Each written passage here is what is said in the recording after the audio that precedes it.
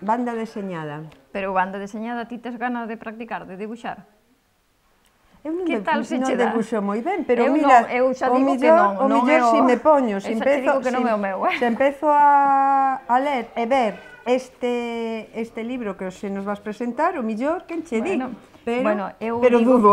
Eu desde logo mm, non creo que Kiko da Silva faga milagres neste sentido. É dicir, comigo, desde logo, por moito que, comigo, que por seguro, moito que leas, comigo que, que non, eh, tampouco. Eh? Neste pero caso, bueno, por lelo que non bueno, quede. Pois Kiko da Silva traenos Aprende banda deseñada con Fiz. Fiz era protagonista dun, dunha das, das aventuras que escribía Kiko da Silva. Fice o neno máis porco do mundo.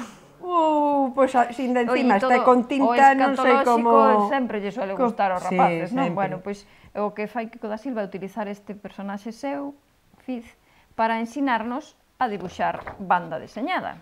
E, entón, bueno...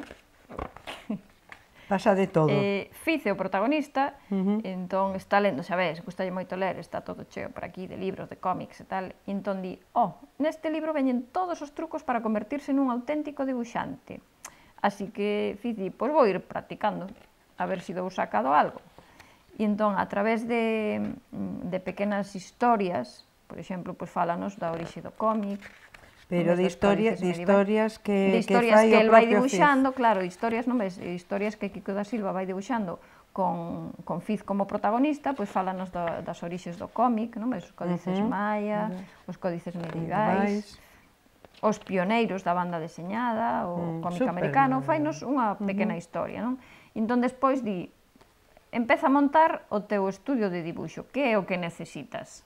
e vai ensinando pois todo ah, moi didáctico. No, no, totalmente didáctico, didáctico. divertido, eh as expresións e vaiche dicindo, mira, desconfianza, como dibuixalo enfado, tristura, medo. Un, un moi parecido Sempre... emo, emoticonos que utilizamos sí, pois, que, que fai utilizamos es un pouco agora tanto como como chegar a dibuixar unha historieta destas das súas e xa digo, eu sinto, eu agradecio moito aquí coa Silva, pero comigo non faría nada bo, eh? Bueno, pois pues damos, damos as gracias por, por presentarnos esta este banda diseñada, este cómic, eh, sobre como facer o un, mm, calquera de calquera de nós, pero vamos deixarlo sobre todo ás novas xeracións. Bueno, seguro no, es que, que a ver, eu digo, cada un sirve para que sirve, eu para debuxar non sirvo pero si sí sirves serves para pasar un buen rato. paralelo, Paralelo, pois por eso si queren aprender a dibuixar cómics, xa saben onde podem, por onde podemos E se non queren aprender, eu, e, si eu, non, eu, eu li, a min gustoume igual. Así lemos que... a historia, a historia de Fiz, o neno máis porco do mundo. Imaginen o rapaz con tintas, con ceras e con todo tipo de, de instrumentos bueno, para ah, poder dibuxar. Pois xa saben. Eh, eh, mm, tardan moi pouquinho en lelo e pasarán un anaco de tempo divertido, didáctico e moi visual. Pois xa saben. E sobre todo po verán.